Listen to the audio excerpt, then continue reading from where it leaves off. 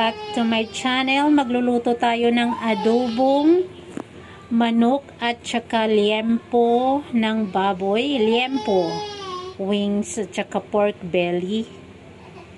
And then yan, ito yung ating mga lagyan natin ng Sprite guys. Lagyan natin ng Sprite para mas malasa talaga siya. Siyempre may suka tayo na maanghang with chili yan siya. And then yung ating dato puti and ating uh, pepper. White pepper lang siya guys. Yung ating garlic at saka onion. And then yung 2 2 tablespoon of sugar.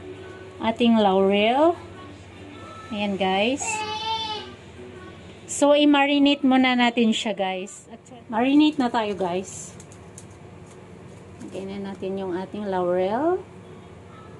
Ang ating bawang. At saka ang ating sibuyas. Actually, marami-rami ito kasi ano kami eh. Tatlo. Ang ating sugar. So, ito yung sukat guys ng ating vinegar.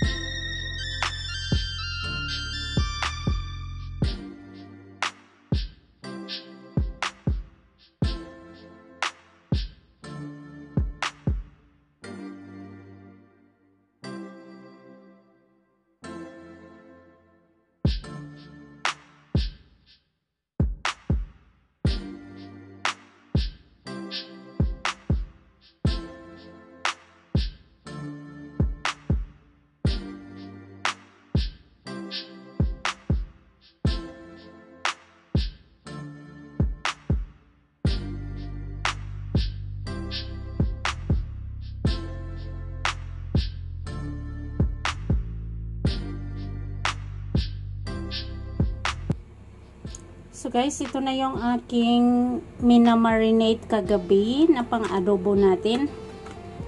Lulutuin na natin siya ngayon. Iano muna natin siya guys, i-drain. I-drain natin siya guys.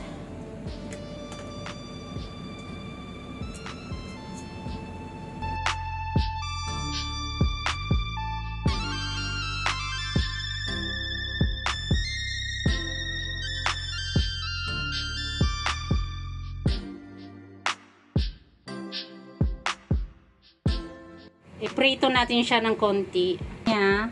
Ano to siya guys? Medyo maanghang. Hindi medyo maanghang. Maanghang talaga siya kasi ang daming chili oh. Chilling green, chilling red. Ayan. Ang dami. So spicy adobo, adobo siya guys. Marinated overnight na to siya. Overnight kagabi ko to siya inano. Now is uh, 3 o'clock in the afternoon. So, maglagay tayo ng kunting konting mantika lang siya guys kasi non-stick naman siya.